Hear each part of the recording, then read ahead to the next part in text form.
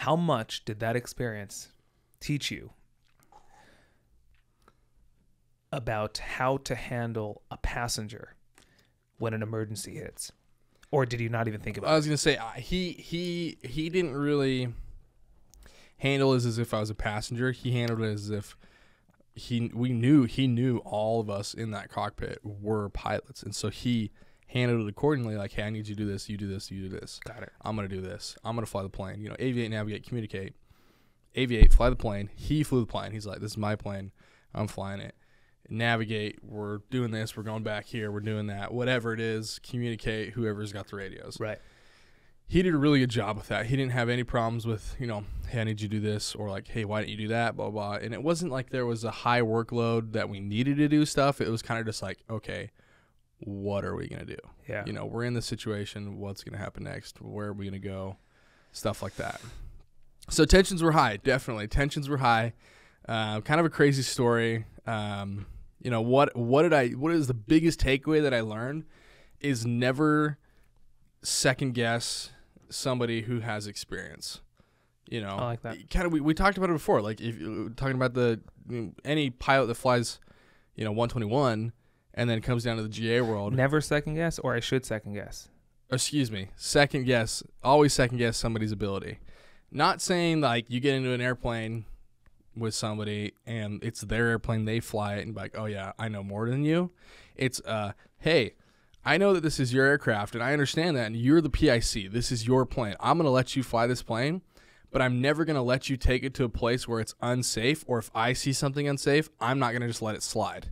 I'm gonna say something, I'm gonna intervene because it's my safety on the line, not just yours. You know, when you go flying with somebody, you put your life in their hands unless you're flying their aircraft, right? What? Okay. So you're always you're always trying to CYA okay. no matter what. Devil's advocate. Where do you draw that line? You're flying with a dude or a chick, and it's their plane. Okay. Where do you? Let me ask you this: Where do you draw the line beyond which, if you do cross it, now you're not the person looking out for their safety, but you are the nosy passenger? Where's that line drawn? So I, I can't give you a perfect like this is the hard line because I'd say it's different with every pilot. okay. With this guy that I'm talking about now, because I'm more experienced with him, I've flown with him plenty of other times now since that time, and we've done all, flights in his all his other aircraft. Um, he's let me fly before. It's it's different because now he doesn't look at me as a pilot. He looks at me almost as like a mentor because I've superseded him not on hours but just on ratings. I have my you know my CFI, my double I, MEI, everything like that, my Got it. commercial, and so he doesn't look at me as just like a not a nobody because he never looked at me as a nobody, but he almost looks at me as like, hey, I want you to be criticizing my every move because Okay, that's different. It's a different it's different and I'll get to what I'll get to your question but he he in this situation he now looks at me as like hey I want you to be that almost pilot mentor to help me get better because you have exceeded in all these other areas that I haven't. You know, yes, he has more hours and he has more experience in different aircraft type because he has the Columbia. He has a Kit Fox, which is a back uh, country aircraft. That thing is, oh my gosh, that thing is so what, fun. what cars does this dude have? Uh, he's very modest with his cars. Okay, last- he's very modest with his cars. He doesn't. He has a cool Model T, but okay. um, he, he's a big VW guy. Like Okay. uh, he has a lot of VW things, uh, which are from like the '70s, '80s, I think. How old is he? Uh, I think he's in his 70s. Oh, yeah, he's an older guy. He's an older gentleman. Really cool guy. Really awesome guy. Uh, really in touch with aviation. Uh, so he's got a uh, the Columbia, the Kit Fox. He's got a 1957 J3 Cub, like one of the OGs. Those he, are cool. he restored it himself. Those are cool. Uh, I've really, really, really wanted to fly that thing, but we're trying to sell it right now for him. And then he's got three Boeing Stearman. You Oh. know what those are? PT-17 Stearmans. Uh-huh. So I've done most of my flying with him. He has either three the- of 'em? He's three of them, but one of them is in pieces that needs to be restored. Uh-huh. He has one that is just a regular Stearman, like what you would see, um, like just your iconic Stearman. Then he has one that's called the Ghost, and um, it's got like 680 horsepower. It looks like a World War One type aircraft. Let's see, I have a picture of it. I'll show you. But anyway, Stearman. they're dude. uh, One of, I I will own a Stearman one day. You love it. Love it. Absolutely one of my most favorite planes I've ever flown. Okay, so you are a dude who will fly for the air. So let's talk about this because we're talking about this over lunch. You are the airline pilot who will use their airline piloting income to supplement their GA fun. Yeah, so I've always told people when I talk to them and how interesting I am, or interesting, how interested I am in GA flying. I've always said I'm going to use my airline opportunity to fund my Your fun. fun having. You know, whether that be flying. So this is this is his regular Stearman. That's the Stearman he flies all the time. Oh, that's good looking. Yeah, it's beautiful, absolutely beautiful. He restored it himself. He did all the work on it. Radial engine. Radial engine. Yep, radial engine. There's the front.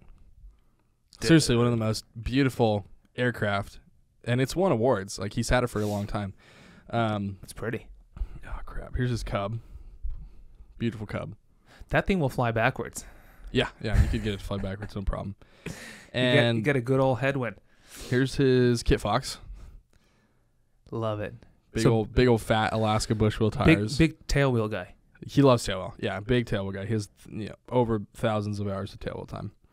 Uh, and then this is his ghost ghost ship is what it's called. Let's see if I can get Ghost good- ship. ghost ship. Yeah. Um, and this is like he's trying to sell it because it's so fun and it's so like dangerous to Where does he keep them? Uh, at his his own airport. How cool is that one? Dude. So that one has a big radial, like big, like higher horsepower. It's got a variable pitch prop, you know, constant speed. It's got dual ailerons. It's got seats for two, but the front seat's like covered up, and it's got like a faux machine gun, like fake machine gun up there. And uh, it's an experimental aircraft. Like it's it's the real deal. It's freaking awesome. So back to what we were talking about a moment ago with people. So you were saying this guy, when he flies with you, he doesn't just look at you as a passenger. He looks at you as someone who he wants you to critique him. Exactly. Here's here's the cool thing about this industry, and it's so true. Every single person I fly with who knows I'm a CFI and who obviously, you know what I mean, which the people who I fly with who don't know that are practically zero. So every single person who I fly with knows that I'm a CFI. Right. And it's amazing because I have to say, most pilots, even if they're just private, especially privates, will actually ask for their bad behavior to be Right. pointed out. yeah. It's Which, an amazing, I mean, great it takes culture. you back to a lot of what pilots say is a good pilot is always learning. Whether or not you're an experienced pilot or whether or not you're a 747 captain that's been in the industry for 40 years, you always need to be learning. You never are going to stop learning. Because think about it. What I kind of like to relate this to, if you ever meet a cocky pilot who's like, "Oh, I don't need to, I don't need to learn that," take, take him, take him, take him to this. Kind of give him a little humble check. A humble pie. Yeah. Uh, let's go back to the '80s, and let's just just take it into let's let's do it for both, GA and airline world. What things were inside a GA airplane that are in a GA airplane now? Like, yes, your basic six pack, but think what's not from the '80s that's in there now. Your GPS, your ADF's gone. Your I mean, I don't know. Some people don't even have VORs sometimes. Think about all the stuff that has advanced, and if you're still stuck in the '80s, Right. you're never going to be able to fly an aircraft that's new or now. You know, it's it's so you're always learning. Think about it. The, all You the stuff. to. You know, most of the airliners that are flying, but we're taking not the most newest, like the newest ones, but like your Cirrus has more capable instrumentation than like my 145 or some older CRJ 200s. Like I can't fly an LPV approach, but you can. Huh, We don't have WAAS in the 145. Do you really now? No. So do so that's fascinating with scheduling. We are only allowed to fly LNAV minima. So do they specifically use that on airports that don't have WAAS approaches? Uh, That makes sense. Otherwise, you're just shooting yourself in the butt. yeah, yeah. So we, I mean, if if not, we usually just revert to a, like a localizer or an ILS.